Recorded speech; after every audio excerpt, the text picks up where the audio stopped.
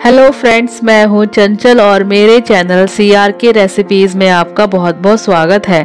सो so, आज मैं बनाने वाली हूँ इंस्टेंट अचारी मसालेदार बैंगन की रेसिपी बहुत बढ़िया ये बनते हैं बहुत टेस्टी ये बनते हैं। सो so, देख लेते हैं हमें इसके लिए क्या क्या चाहिए। सो so, इसके लिए मैंने सात मीडियम साइज़ के बैंगन लिए हैं। बिल्कुल मीडियम साइज़ के ना ज़्यादा छोटे ना ज़्यादा बड़े। सो so, अब मैं मसाला तैयार कर लूँगी। सो so, मसाला मैंने इसमें नमक लिया है वन टेबल स्पून और हल्दी पाउडर में इसमें हाफ़ टेबल स्पून डालूँगी। डालूँगी लाल तीखी वाली मिर्च में इसमें हाफ़ टेबल स्पून डालूँगी कोरिएंडर पाउडर मैंने इसमें वन टेबल स्पून यूज़ किया है, गरम गरम मसाला वन फोर्थ यूज़ किया है।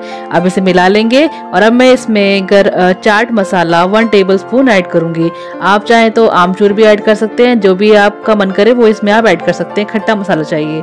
सो अब मैं बैंगन को चार हिस्सों में काट लूँगी और बैंगन के अंदर हर तरफ़ से इसको फैला लूँगी मसाले को। सो इस तरीके से अगर आप बनाते हैं इसको तो इसका फ्लेवर बिल्कुल चटपटा सा, तीखा सा, नमकीन भी और खट्टा सा आता है। बहुत बढ़िया इसका टेस्ट लगता है।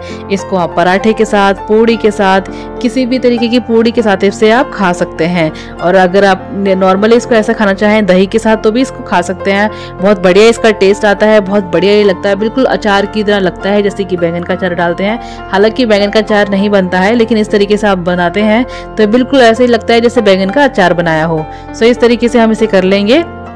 तो देखिए, मैंने चार तरीके से काट, चारों तरफ़ से काट के इसमें सिर्फ़ मसाला ऐड किया है। सारा मसाला आप इसे ऐड कर दें, कोटिंग कर दें, ऊपर से भी, अंदर से भी तो बहुत बढ़िया इसका फ्लेवर आता है, बहुत ही मज़ा आता है इसे खाने में। तो देखिए, इस तरीके से आप इसे रेडी कर लें। और मसाला भी ज़्यादा स्पाइसी नहीं होता है।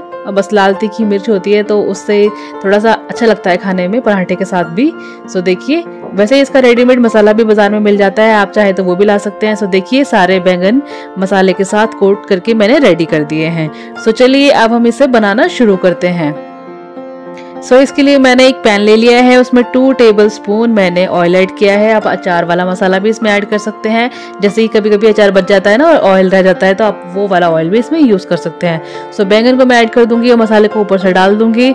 अब मुझे इसको लो फ्लेम पे कम से कम 20 मिनट के लिए पकाना है। सो बीच बीच में चलाते रहेंगे इस तरीके से घुमा घुमा कर ताकि हर तरफ़ से ये अच्छी तरीके से पक जाए। लो फ्लेम ही रखिएगा तेज फ्लेम बिल्कुल ना रखें। सो देखिए अच्छे तरीके से ये बन जाते हैं। जब इस तरीके से आप सेकते हैं इसको आ, लो फ्लेम पे बहुत बढ़िया इसका टेक्सचर आता है। सो देखिए ये गल भी चुके हैं पर थोड़ी देर में इसे भी और पकाऊँगी। तो देखिए इनका कलर भी चेंज हो चुका है और इसमें से खुशबू भी बहुत बढ़िया सी आ रही है। लाजवाब इनका टेस्ट है। सो आप भी इसे ट्राई करें। बहुत जल्दी ये बन जाते हैं। बहुत ही आसान है इसको बनाना। इंस्टेंटली बन जाते हैं। सो इस तरीके से मैं इन्हें बना लूँगी अब। सो मेरी आज की रेसिपी अचारी बैंगन मसालेदार रेडी हो चुके हैं, सो आप भी इसे ट्राई कीजिए। ये रेसिपी को बहुत आसानी से बनाया जा सकता है इंस्टेंटली ये बन जाती है। सो मेरी आज की वीडियो आपको कैसी लगी है, मुझे कमेंट करके ज़रूर बताएँ, और मेरी वीडियो को लाइक करना बिल्कुल ना भूलें। इस तरीके से आप भी इसे ट्राई करें, रोटी के साथ भी इसे जब खाते हैं तो बहुत ही टेस्टी बहुत ही लाजवाब इसका टेस्ट आता है। सो मेरे चैनल पर अगर आप नए हैं तो मेरे चैनल को सब्सक्राइब करना बिल्कुल ना भूलें। इंस्टेंटली ये रेसिपी बन जाती जाती है और मैं कोशिश करती हूँ कि सिंपल तरीके से इजी तरीके से इंस्टेंटली मैं रेसिपी बनाऊँ ताकि आपको भी बनाने में कोई परेशानी ना हो। फिर भी आपको कोई परेशानी होती है तो आप मुझे कमेंट करके पूछ सकते हैं आप मुझे ईमेल भी कर सकते हैं और आप मुझे फेसबुक पे इंस्टाग्राम पे ट्विटर पे भी फॉलो कर सकते हैं। सो so, ऐसे ही मेरी वीडियोस को देखते रहिए और अपना ध्यान रखिए।